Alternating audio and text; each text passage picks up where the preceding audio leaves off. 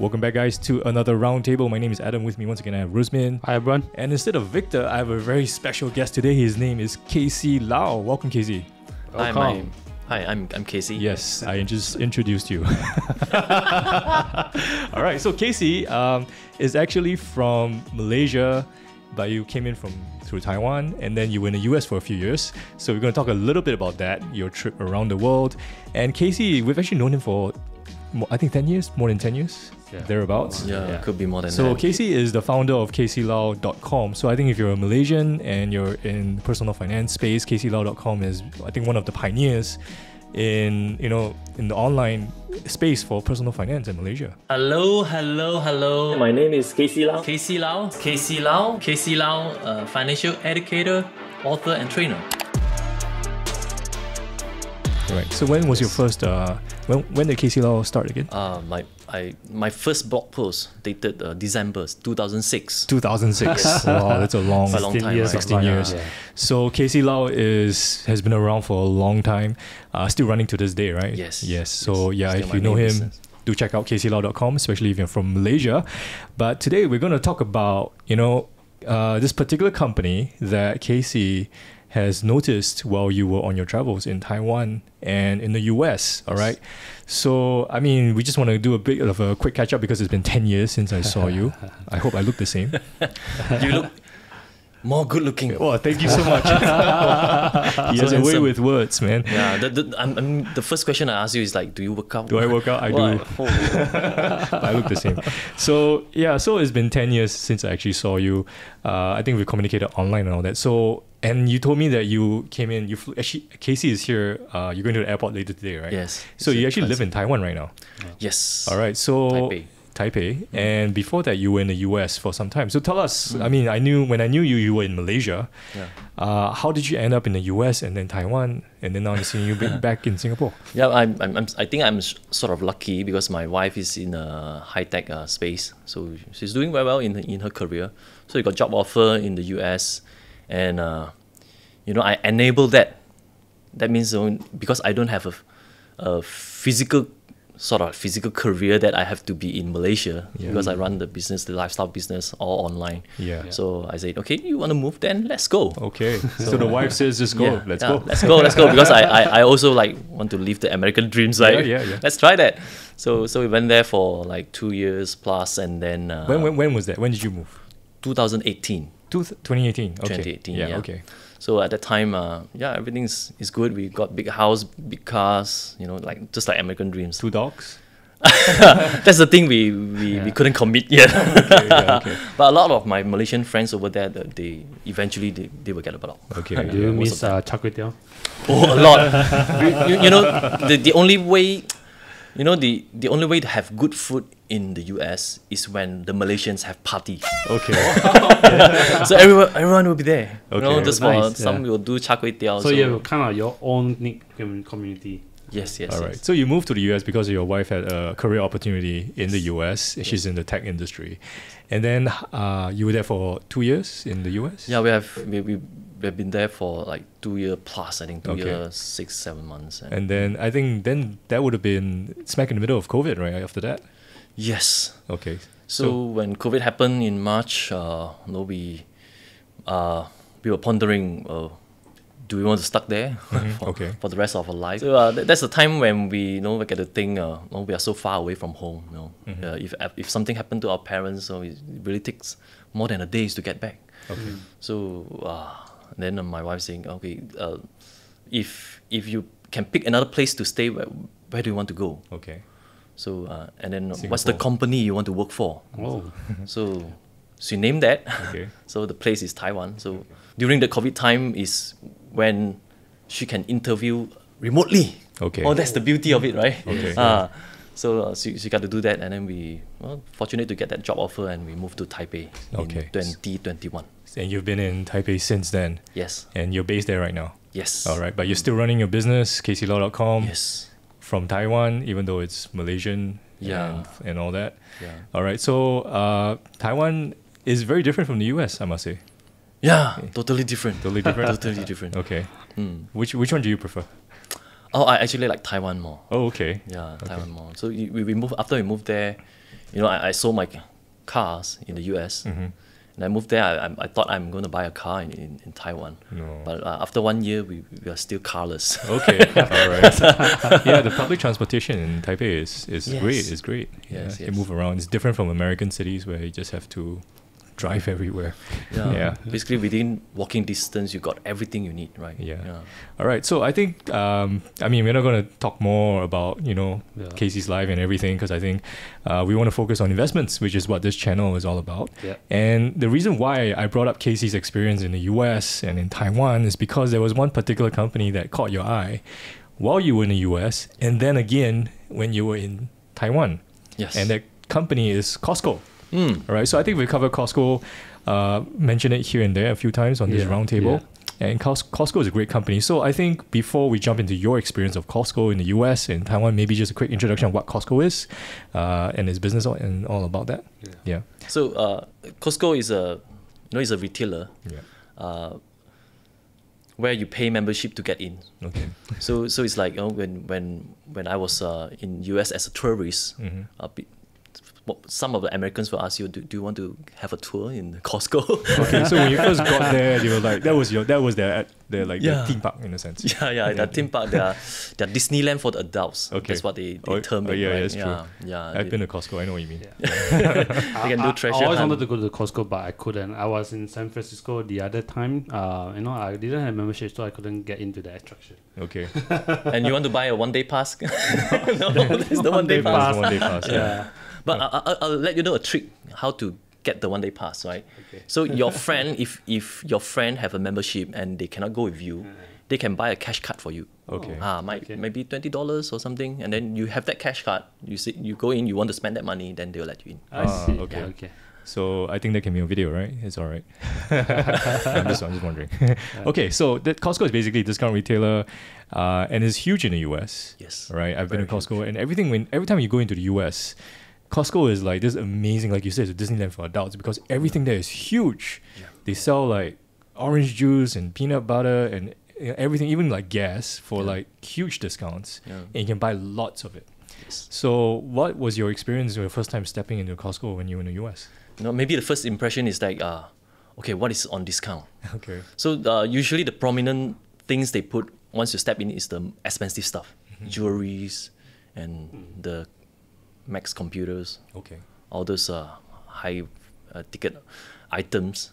And actually, before you walk in, there's a car outside already. They- Okay. You put a car, so if you want to buy the car, also can. Okay, you can buy cars there as well. Okay. Yeah, okay. that's the time. I think I think the first time I went to Costco, they, they put a Honda Civic out there. Okay. Then the, the, the Civic is like what? I, I forgot the price. 12,000. 12,000? Yeah, Okay. something like that. Yeah, Singaporeans cannot understand that. But okay. Time, Singapore is times 10. Yeah. More than that now, I think. yeah, okay. Yeah. So so it was basically like it was like a wow moment for you, right? You can pick, you can buy a car, you can buy everything, and you and you. I think you were telling me just now that you could you went to Costco basically once a week because you could pump gas as well. Yes. So it was like a weekly pilgrimage for you to go to Costco. Yeah, sort of, sort of like a, we are sort of a cult member. Okay. So uh, what happened is, uh, you know, because I, we have two cars, so every every week you at least have to pump gas once. So you go there, and then, you, uh, once you're there, you just go in and grab some deals, right? Yeah. Uh, we'll get some foods because we cook a lot in America. You have to cook. Yeah. So you you also buy the eggs, the veggies, the fruits, and then uh, they have a lot of uh, well, um, no, very delicious uh, made cook, uh, no, already cooked food like pack. Oh, the chicken, right? The chicken is actually Ah, also the chicken. The chicken is the, crazy. The chicken is like I think they sell it at a loss, but they get you into the door Yeah. so that you buy other things there. Like this- almost like their hot dog. the yeah, the, the rotisserie chicken. Rotisserie chicken, Yeah. yes, It's is five dollars in the US. for a whole chicken. And and you know how big the chicken is? I don't know, man. Tell me how big American chickens It's are. really crazy. That that chicken is like turkey. so we, we have three person at home. So if, if I got that chicken, I have to eat it for a week. okay. Yes, I have separate into four five meals. American can oh. finish it in a day. I don't know. but I mean that's great. I mean five dollars for a whole chicken can feed your family for I guess a few days. And I heard that the trick is that they, they put the chicken at the back, very back. So Yeah. it's like the diagonal back. Okay, so they want So you to you walk. walk through everything. Yeah, you have to walk through everything. around. It's very smart there. of Costco. Yeah. Yeah, so I think I think that was I think those are the highlights at the first time when you go to Costco and you see all these things that everything's so cheap, and then you because it's so cheap, you just like I, I need to buy everything, and you like kind of like saying that it was kind of like a treasure hunt, right? Yeah. You go in, it's like what what do I buy today? What's on discount? And that's what happened. Was it correct? Yes, and, and then you know one thing we, we when we talk about cheap, we, we might think of like the absolute price of cheap. Like, Okay. let's say you want to buy a toothpaste, you you want to buy the cheapest. No, it's, it's not that Yeah. kind of man, mentality with Costco. They they also want to give you qualities. This is just not cheap. Okay. So so we kind of like after like two three years shopping in Costco, what I realized is that uh, I was being uh, you know being attracted to upgrade my lifestyle. Okay. Oh, This, this this is the thing happened to me. so you spent you started spending more. We're spending actually more and more. You know, I, I got a bike there. Okay. I, I made my spec there. You know, uh, a, when, a when I motorbike or a bicycle? uh, uh, electric bike. Okay, Electric okay. Bike. And then uh, I, I got my Mac computer there. Uh, so wow. TVs, know, Everything. sound bar. oh wow. So every every time I, I think of buying something, uh, I will Costco. think, do they have it in Costco? so it's not Amazon. It's Costco. no, Costco first. Okay. Because Okay. because why? Because I why buy from Costco, I got rebate Mm-hmm. because of the executive, Yeah. uh, and then and then you know that you are not going to pay more than. Uh, you, you're not going to find that pricing anywhere yeah, else because, because, they I tried. correct. Yeah. Because I tried, I definitely tried. I tried Amazon. If if it is uh, on Amazon, probably you will have the same price. Probably. Mm-hmm. Uh, But you know, if you go to Costco, it's most probably going to be the cheapest you can and, find anywhere. and the thing is, they are going to beat the lowest price you can get elsewhere. yeah. Yeah, even themselves. Okay. You know, sometimes let's say you buy this TV, Mm-hmm. but next week they have a deal for this TV, exactly same TVs, and Mm-hmm. then they maybe have a fifty dollars off. Oh. Then you can claim back that fifty dollars. Okay. Next week. So it's like this this uh, positive reinforcement where you go there, you have so much fun buying cheap stuff, Yeah. and then you think of Costco all the time, and so you get kind of like have this association. Every time you go there, you're happy. Do you feel that way? right. yeah, you're getting deals. And, So you, just keep wanting to go back because Yes. it's like really like Disneyland in a sense Yes, for yes, shopping. yes. And then you can buy everything. So you, you went there every week in the US. So uh, we all know Costco is huge in the US. But the interesting thing is that when you went to Taiwan, mm. you've discovered that Costco was in Taiwan as well. Yeah. Were you surprised to see Costco when you moved there? Yeah, I, I was very surprised. So so of course we, we went in. I still got my membership at that time. Okay. So went in. It's even more surprised because it's so packed. It's packed. It's, it's really packed. It's like Okay. It's like crowded. Even So- more crowded than it was in the US. Even more crowded. Yeah, okay. Yeah, because one thing the, the space might be smaller, and then uh, there are more people in there. Okay. Mm, you can hardly walk with your cart. Oh, okay. Yes, it's true. So Costco in Taiwan, and what what's what's it like? I mean, how is it the same and how is it different in, in Taiwan?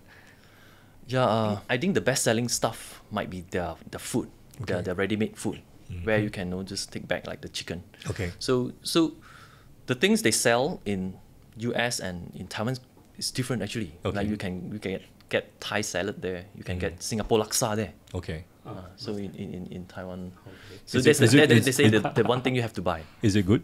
It's, it's really good. It's good. It's really good. All right. so so I heard that though I, I don't know they, they pay uh, very good uh, chef to come up with the recipe. Okay. Coming from a Malaysian point of view, I believe. Yeah, when Malaysian says Singapore food is good, I, I have to trust that guy, man. Malaysian standards are a lot higher. For our street food, Malaysia is. Yes, I think Malaysia is takes the cake there. Thank you, thank you. yeah, yeah. Okay, so uh, Taiwan, you can basically you're saying that Costco is has different products in Taiwan. Yes. So they managed to find a way to they didn't they didn't just copy the the model wholesale from the US. I mean the mo- the model's the same, model's the same. membership. They they sell you in bulk at, at discount, but they were very smart at buying selling things that the locals wanted to buy. Yeah. Okay. Yeah. Because I think it's quite easy for them to control too, because they only have like around four thousand items Okay. Mm-hmm. in the stores. So if they want to sell one thing, they maybe sell just one brand Mm-hmm. or two. That that that's it. So uh, I think it's easy, much easier to control uh, compared to other retailers that you carry ten times more items. Okay. Mm. And there are how many stores in Taiwan right now? Fourteen. 14. 14. I think it's quite mature because you, you think of it, Taiwan's about 25 million uh, population. Mm-hmm. Uh, uh, Shanghai alone is about that. Yeah. Uh, so okay. now we have like two stores in Shanghai, uh, one one in Shanghai, one in Suzhou. Okay. And the third one is coming up in Pudong. Wow. Why are they not coming to Singapore? we need one Co- Costco. you. If you're Yeah. listening to this, I mean, just yeah. put one Yeah. Costco here, man. Yeah, At least one. At least one. just just one. I mean, IKEA has done it, so I think you guys can do it too. But anyway, back to Taiwan.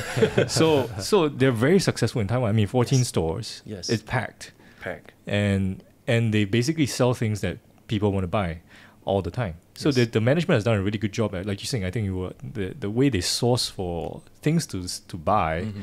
They do a great job at that, do they? Yes, and then and then you, you when you think of it, uh, their their their purchaser, their job of the purchaser, Yep. it's it's not like going to source for product. It's more like people coming to pitch their product to them. Okay. Yeah. Ah, so because you have the purchasing power, volume, yeah. yeah, Yeah. the volume, so everyone want to get on that. All right. So I think this the, the other way around. It make their job easier too. Okay. Mm. You have to prove to them, no, my things will sell at your store. Okay. All right. So even in Taiwan, it's packed, and I guess you're the same membership you use in the US, you use in Taiwan Yes, as well. worldwide. And uh, and you know, it's like you were saying just now that you know Costco was kind of like they don't really have a business. I mean, people see them as a retailer. That's like their business model. But you're saying that their real business model is actually kind of like a SaaS business model. so I think uh, our viewers want to hear about that. I mean, it's an interesting concept. Yeah, Yeah. yeah. I also read about it somewhere. So, Okay. so basically, like you know, when when you pay for uh, a SaaS product, Yeah. right? You pay and then you you use as you go, right? So so Costco is something like maybe a purchasing as a service Mhm. or negotiation as a service. That means you, you pay them the membership To so source. that they find deal for you, maybe Mhm. deal finding uh, Yeah. as a service. Mhm. So uh, you know when you look at their their financials, is that their membership fees, hundred percent of it flows Flows- to the bottom line, correct. flows to the bottom line. You know that every dollar they collect on the membership fees is going to be profit, Mhm. pure profit. So if you look at it that way, it's like what the margins are more than hundred percent, Mhm. right? Because they still make money from selling the things to you, although they mark up just a little bit. Fourteen percent is the max they do. All right. Yeah, So the real business is actually their membership. Yeah, and you know it's recurring, it's predictable, and then the pro- the service that they provide provide you for the membership is finding you the best deals, you know, bulk discounts, great products, high quality at good prices, Yeah. and you keep going back because you're happy. yeah. Yeah, all right, and Mm. and basically they just make a little bit on that side, but the main business is the membership. So Yeah. That's how almost uh, Amazon built their Prime business. Yeah. right? So they have Yeah. Prime subscription. Actually, that Bezos got the idea from uh, Costco. Costco. actually. Oh. Okay. I see. Yeah, so I think we wanted to share, I think, KC's anecdotal experience in Taiwan and the US because we've talked a bit about Costco, but it's good to hear from someone who's been in Costco in two countries. Yeah. Yeah. And it's nice to know that they basically run a very tight ship, even though it's in two, like you said, Taiwan and the US is, is different. Yeah. Different mm-hmm. cultures. Yeah. It's a different city or country altogether. Yeah. But it's still the same Costco, right? So when it comes to Costco, I mean, if they can, the other question would be then, if they can do it so well in Taiwan, do you think they can do the same in China? Oh, I'm betting on it. So you know, uh, the more I think of it, I'm I was, I think this is inevitable. Okay. It's like sure to happen, right? They have the first two stores, Mhm. sell so many membership even before they open, right? Mhm. And then when it's open, they have to close it earlier because it's just too packed, right? Mhm. On the first day or something. That's what I heard. I think they're experiencing the same thing in China when they expanded their first store. Uh, they've got Mm. 200 over 1,000 memberships signed up on the first day, Mhm. which Yeah. is crazy. It's right? huge- it yeah. was flooded the whole store, and it's- those are the huge stores we are talking about, and you're flooded with people. Yeah. And China can afford that, right? Because they're a billion dollar Yeah. plus, a billion plus uh, Pe- population. people, yeah, and the scale that they have is, I think, is going to be Massive. amazing. So, so would you think that Costco is kind of like mature in the US, more or less, Yeah. but you think the international expansion is some runway to go? Yeah, I think still two three times to go. I guess. Wow. Per- Yeah. percentage of uh, revenue contribution, I think international still account about less than or thirty percent. Yeah. Okay, so I think that could be a long runway for Costco. Yeah, Costco. because out of like uh, the total 830 stores right now, I think Mm. uh, about 570 something is, is in, in the US. In the US. yeah, yeah. Yeah, So most of it is still, still very So US centric. I think you can repeat the same 600 store in China. Okay. And then- one in Singapore. Yeah, Probably you, you need three. Three. Three. Yeah, you need Okay. three here. Yeah. Three here. yeah, middle, east, and west, right? yeah, I think they're good. Yeah, they have not even opened up the tap here. Okay, so Yeah. I think it's pretty much a long runway there. Yeah, Yeah, so I. Costco, I guess their business model actually works across different countries and cultures. It, it Yeah. works. Yeah. So, I mean, we love Costco, um, but I think we should cover some of the risk as well. I mean, because we've talked a lot of good stuff about uh, Costco. What do you think, you know, some of the risks that, because you're an investor yourself. Yes. KCLau.com is an investment website. Yeah. Uh, I'm you're also Costco shareholder. shareholder, Yeah, right? Oh, yeah. okay, okay. So, what do you think of the risks that, I mean, Costco is, is a great company, but what do you think of the risks that they face as well? Uh, yeah, there's some people talking about like the on, online uh, Threat. Yeah. online e-commerce is going to threat. Mm. So, but I think the business is different. So if you look at it as a you know purchasing as a service, Okay. I don't think they will get hit. So this is the thing I, I think about, and then also probably the demographic because people are. No, we don't have more kids nowadays. Okay. Not like used the American used to have like three, four kids, right? They live in big house, Mm-hmm. and uh, probably urbanization. People are moving to smaller space. You don't have to buy a lot of furnitures, all the stuff. Okay. So Okay. uh, I, I initially I thought that it's a trade, Mhm. Mm. but So- the more I think about it, actually, when COVID happened, the opposite actually happened. Okay. So, what happened during COVID for Costco? Like during that time, uh, like New York City, you know, Yeah. Manhattan, people Yeah. are moving out of it Yeah. because people work from home, study from home, so they want a bigger house. Okay, yeah, so they move to the suburb. Okay. Then what happened? If you move to the suburb, you want to you know, pack your house with stuff. Mhm. So where do you go? Costco. Yes, Costco. So when you think of like, you don't you don't go click on Amazon and uh, wait same day delivery. Is this too slow? You rather go to the store, get go to Costco and come back. Is that what you were thinking? No, my now my first choice is if Costco is selling online, I will click with Costco first. Costco online. Yes. Okay. okay. Ah, Yeah. mm. So they Costco has that online option as well. Yes, yes. Yeah. So wow. Yeah. So they're doing that. So my, my TV, I, I don't carry it back. Okay. yeah. it you- was like was uh, 70 inch TV. bring on So your back like that. Okay. I I try to think of risk for Costco, so I mean it's really hard to think of one because this is also one of those companies that I think Charlie Munger actually vouched Yeah. for it, and it's Mm. one of his holding all the three holdings that he, he's got. yeah. What about inflation? I mean, inflation is going to hit Um, everyone. Yeah, so I think about inflation is because the model is always passed back to the consumer, right? And I mean, they try to keep the cost low, uh, and then they'll mark up maximum. They'll go be like you know 10, 15, 13, 14 margin markup, and Yeah. that's it. Okay, they don't try to make more than that. So if the cost gone up, I, I believe they will pass it down. Okay, so maybe I think KC would have different opinions. Yeah, like uh, no, in America, eating out is very expensive. Mhm. So eating out is, is kind of luxury because you will spend twenty over buck, thirty bucks per person just for a Yeah. meal.